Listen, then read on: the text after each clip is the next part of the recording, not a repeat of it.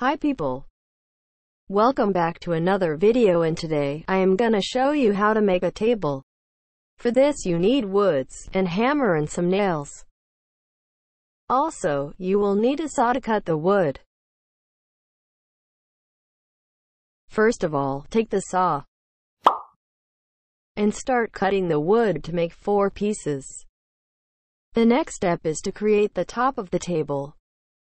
For that, you need to cut the wood to make a big board. At this time you are supposed to have four pieces of wood and a large board. If not, what are you doing? The last step before assembly is to create small planks. Cut the wood. Now is the time to assemble the table.